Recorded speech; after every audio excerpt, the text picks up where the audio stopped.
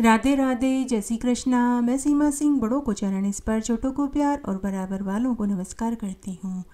आज मैं आपको जीवित पुत्री का व्रत कथा सुनाने जा रही हूँ। आज मैं आपको जीवित पुत्रिका की तीन व्रत कथाएँ एक साथ सुनाऊँगी। जीवित पुत्रिका को कई नामों से जाना जाता है। इसे जितिया व्रत कथा भी कहते हैं। भगवान जिमूत वाहन की व्रत कथा भी कहते हैं तो कुछ लोग इसे जीवित पुत्री का व्रत भी कहते हैं। आइए अब हम जितिया व्रत कथा की एक साथ तीन कहानियाँ सुनते हैं। एक बार एक जंगल में एक चील और एक सियार रहते थे। दोनों में गहरी मित्रता थी। दोनों ही भोजन में मिले मांस को मिलजुल कर बांट कर खाती थी। एक बार आसूच का महीना था। उसी जंगल में एक तालाब भी था। उस तालाब के किनारे गाँव की औरतें पूजा कर रही थी और कथा कहानियाँ सुन रही थी। तो उन दोनों ने सुना कि जितिया व्रत को करने से मनुष्य योनि मिलती है और उनके बच्चे जीवित रहते हैं। तो उन दोनों ने भी व्रत करने का निश्चय किया। तब चील ने पूरी श्रद्धा के साथ उस दिन व्रत रखा और पूरे दिन कुछ नहीं खाया। जबकि सियारिन से भूख बर्दाश्त नहीं हुई तो उसने जंगल में शेर के द्वारा मारे गए भैंसे के बचे हुए मांस के अवशेष को खा लिया, जबकि चील ने दूसरे ही दिन व्रत खोला। इस तरह समय बीतने लगा। अगले जन्म में चील और सियारिन एक ब्राह्मण के घर में पैदा हुई। चील बड़ी बहन बनी तो सियारन उसकी छोटी बहन के रूप में पैदा हुई। दोनों का एक जैसा लालन पालन होने लगा। फिर जब वे बड़ी हुई तो बड़ी बहन का ब्याह एक ब्राह्मण के घर में हुआ तो छोटी बहन एक राजा के यहाँ ब्याह कर गई। पूर्व जन्म के व्रत के प्रताप से बड़ी बहन को आठ पुत्र पैदा हुए, जबकि छोटी बहन ने पूर्व जन्म में व्रत का संकल्प करके व्रत का निरादर किया तो उस पाप दोष के कारण उसके आठ पुत्र हुए, लेकिन सभी कुछ दिनों के बाद मर गए। जब छोटी बहन को पता चला कि उसकी बड़ी बहन के आठ आठ पुत्र हैं तो उसने ईर्ष्या द्वेष में आकर अपने सिपाहियों से कहकर उनको मरवा दिया और अपनी बहन के मरे हुए आठों पुत्रों के कटे सिर को तरबूज के अंदर रख कर अपनी बहन के घर सिपाहियों के साथ भिजवा दिए। तब जिमूत वाहन भगवान ने उन आठों पुत्रों के धड़ पर अमृत के छींटे दिए तो वे सभी पुनः जीवित हो गए। साथ ही वे शक्तिवान, कांतिवान भी हो गए। उधर रानी ने तरबूज में कटे सिर रख कर अपनी बड़ी बहन के घर भेजे तो उनमें सोने, चांदी, हीरे जवाहरत से वे भरे हुए मिले। उधर महल में छोटी बहन बेसब्री से इंतज़ार कर रही थी कि कब उसकी बड़ी बहन के पुत्रों के मरने का समाचार आए। तभी छोटी बहन ने अपनी बड़ी बहन और उसके आठों पुत्रों को महल में आते हुए देखा। तो उसे बहुत पछतावा हुआ। कुछ समय बाद छोटी बहन के पूरे शरीर में कोड़ निकल आया और पूरे शरीर पर मक्खियाँ भिन भिनाने लगी और जगह जगह से खून रिसने लगा। तब राजा ने पंडित जी से इसका कारण पूछा तो पंडित ने राजा को पूरी सच्चाई बताई कि आपकी पत्नी पूर्व जन्म में एक सियारिन थी और इसकी बड़ी बहन चील थी। दोनों ने पूर्व जन्म में जितिया व्रत को करने का संकल्प किया, लेकिन सियारिन से भूख बर्दाश्त नहीं हुई तो उसने बीच में ही व्रत तोड़ दिया, जबकि चील ने इस व्रत को पूर्ण किया। सियारिन के व्रत तोड़ने के कारण, उस पाप दोष के कारण आपके आठ पुत्र हुए, लेकिन होते ही वे मर गए। साथ ही इस जन्म में भी आपकी रानी ने एक अपराध और कर दिया। इन्होंने अपनी ही बड़ी बहन के आठों पुत्रों को मरवा दिया। लेकिन जिमूत वाहन भगवान की कृपा से वे सभी जीवित हो गए।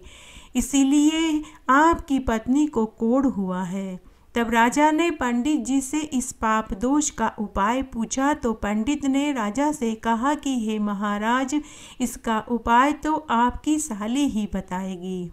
तब राजा अपनी साली के घर गए और उसे पूरी सच्चाई बताई। तो बड़ी बहन को पूर्व जन्म की सभी बातें याद थी। तो उसने राजा से कहा कि, हमने पूर्व जन्म में एक जंगल में तालाब के पेड़ के पास व्रत का संकल्प लिया था।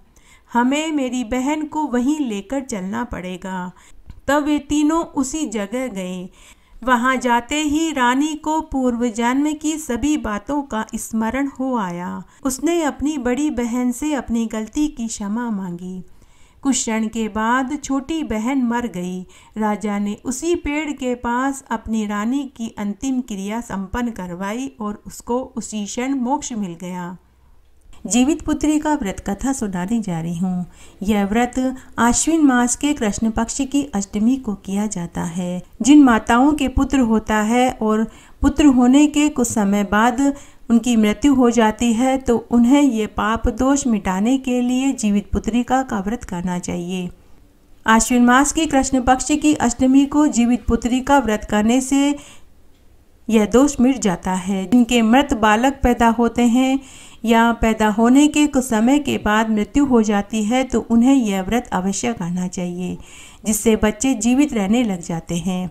इस दिन सूर्य नारायण भगवान की पूजा की जाती है। सुबह नहा धोकर सूर्य नारायण भगवान को अर्घ्य दिया जाता है। धूप, दीप, तिलक आरती की जाती है, भोग लगाया जाता है, आचमन कराया जाता है। भोग में बाजरा व चने से बने हुए पदार्थ खाए जाते हैं। इस दिन कटे हुए फल और सब्ज़ी नहीं खाई जाती। इस व्रत से संतान मृत अवस्था वाला दोष दूर होकर बच्चे जीवित रहने लगते हैं। आइए, अब हम जीवित पुत्रिका की व्रत कथा को सुनते हैं। यह सतयुग के जमाने की कथा है। जब श्री कृष्ण भगवान द्वारिकाधीश के राजा थे, उनकी द्वारिका नगरी में एक बहुत ही दुखी ब्राह्मण पति पत्नी रहते थे। उनके दुख का एक ही कारण था। कि उनके सात पुत्र हुए, लेकिन सातों पुत्र ही कुछ समय के पश्चात मृत्यु को प्राप्त हो गए। ब्राह्मणी बार बार अपने पति को समझाती कि आप भगवान कृष्ण के पास जाइए और हमारा दुख बताइए। वो ही हमारे दुख को दूर करने का कोई उपाय बताएँगे। तब एक दिन पत्नी के बार बार कहने पर ब्राह्मण भगवान श्री कृष्ण के पास गया और अपना सारा दुख उन्हें कह सुनाया। तब कृष्ण भगवान ने ब्राह्मण को सूर्य भगवान की पूजा करने और जीवित पुत्रिका का व्रत करने को कहा। तब भगवान श्री कृष्ण ने उस ब्राह्मण से कहा कि, हे ब्राह्मण, तुम सूर्य नारायण भगवान की पूजा करो और जीवित पुत्रिका का व्रत धारण करो। सूर्य नारायण भगवान ही तुम्हारे सारे संकटों को मिटा देंगे। तब ब्राह्मण ने कृष्ण भगवान से जीवित पुत्रिका के व्रत की पूरी विधि जानी। व्रत की विधि जानकर ब्राह्मण घर आया। और ब्राह्मण ने ब्राह्मणी को व्रत का पूरा विधान बताया। ब्राह्मण ब्राह्मणी ने आश्विन मास के कृष्ण पक्ष की अष्टमी को जीवित पुत्रिका का व्रत पूरे विधि विधान के साथ किया। उसके बाद ब्राह्मणी को एक पुत्र पैदा हुआ। पुत्र पैदा होने के बाद दोनों ब्राह्मण दंपति ने सूर्य नारायण भगवान से प्रार्थना करी। सूर्य देव विनती सुनो, पाऊँ दुख अपार, उम्र बढ़ाओ पुत्र की, कहता बारंबार। उसकी करुण दीनहीन पुकार सुनकर सूर्य नारायण भगवान का रथ जहाँ कहीं भी था, वहीं रुक गया।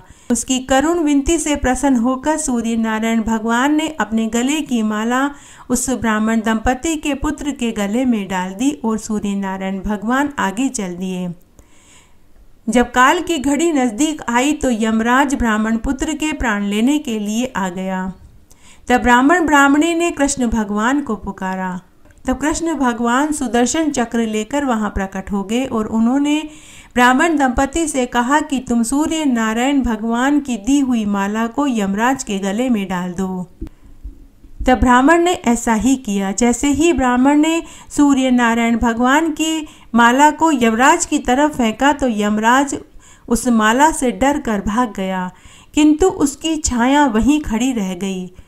तब ब्राह्मण ने उस माला को उस छाया के ऊपर फेंक दिया। तब वह छाया शनि के रूप में श्री कृष्ण भगवान के पास गई और विनती करने लगी। तब उसकी विनती को सुनकर कृष्ण भगवान को उसके ऊपर दया आई और कृष्ण भगवान ने शनिदेव को पीपल के वृक्ष में रहने की आज्ञा दे दी। तभी से शनिदेव पीपल के वृक्ष पर निवास करने लगे। इसलिए शनिदेव की पूजा के लिए पीपल की पूजा की जाती है। हर शनिवार के दिन पीपल के पेड़ पर सरसों के तेल का दीपक किया जाता है, जल चढ़ाया जाता है, कच्चा दूध, कच्ची लस्सी चढ़ाई जाती है।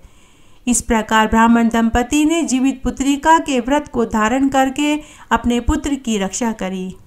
हे जीवित पुत्रिका, जिस प्रकार आपने ब्राह्मण दंपति के पुत्र की रक्षा करी, वैसे सबकी करना कहानी कहने वाले की, सुनने वाले की और हुकारा भरने वाले की। घटती हो तो बुरी हो, पूरी हो तो परवान चढ़े, भूले बिसरे नाम तेरे भंडार में भरे। आइए अब हम एक अन्य कथा सुनते हैं। गंधर्वों के राजकुमार का नाम जिमूत वाहन था। वे बड़े ही धार्मिक, उदारवादी, परोपकारी और दयालु हृदय के थे।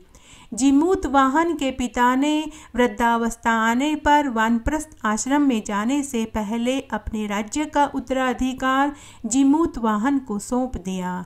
लेकिन जिमूत वाहन का मन राजपाट संभालने में नहीं लगा तो उन्होंने अपने राज्य का भार, अपने छोटे भाइयों को सौंपा और संवन में जाकर अपने पिता की सेवा करने लगे। वहीं वन में उनका विवाह मलयवती नामक राजकन्या से हो गया। तब एक दिन की बात है। जिमुत वाहन वन में भ्रमण कर रहे थे। तो वन में उन्हें एक वृद्धा मिली जो करुण विलाप कर रही थी। जिमुत वाहन ने वृद्धा से रोने का कारण पूछा तो वह वृद्धा बोली कि मैं नाग कन्या हूँ। मेरे एक पुत्र है। पक्षीराज गरुड़ के समक्ष सभी नागों ने यह वचन दिया था कि रोज एक सर्प उनके भोजन के लिए भेज दिया जाएगा। आज मेरे पुत्र की बारी है। आज गरुड़ के पास मेरे पुत्र को उनके भोजन के लिए भेजा जाएगा। और ऐसा कहकर वह रोने लगी। तब जिमूत वाहन ने वृद्धा को वचन दिया कि, हे माते, तुम दुखी मत हो। मैं तुम्हारे पुत्र के प्राणों की रक्षा करूँगा। तुम्हारे पुत्र की जगह मैं सोम गरुड़ का भोजन बनूँगा। जिमूत वाहन ने सोम को लाल कपड़े में लपेट लिया और तय स्थान पर जाकर लेट गया। नियत समय पर पक्षी राज गरुड़ आया और लाल कपड़े में लिपटे हुए जिमूत वाहन को अपने पंजे में दबाकर ऊँचे पर्वत की शिखा की ओर उड़ चला। उस समय जिमूत वाहन बिल्कुल चुप थे। तब पक्षीराज गरुड़ को शक हुआ कि हमेशा तो सर्प खुद के बचाव के लिए चीखते, चिल्लाते और छटपटाते हैं, लेकिन आज आहत तक भी नहीं निकल रही। तब गरुड़ राज ने जिमूत वाहन से उसका परिचय पूछा। तब जिमूत वाहन ने गरुड़ को पूरा सच बताया। तब गरुड़ जिमूत वाहन की बहादुरी और दूसरे के प्राणों की रक्षा के लिए सम का बलिदान देने की हिम्मत से वह बहुत प्रभावित हुआ। उसके इस कार्य से पक्षी राज गरुड़ बहुत प्रभावित हुए और उसने जिमूत वाहन को जीवन दान दे दिया और साथ ही रोज सर्पों का भक्षण न करने का वचन भी दिया। इस तरह आज मैंने आपको जीवित पुत्री का व्रत की अर्थात जितिया व्रत या जिमुत वाहन व्रत की तीन व्रत कथाएँ सुनाई। आशा करती हूँ आपको यह सभी पसंद आएगी। मेरे साथ बने रहने के लिए आपका धन्यवाद। आगे की कथा कहानी के लिए भी आप इसी तरह मेरे साथ बने रहें। धन्यवाद।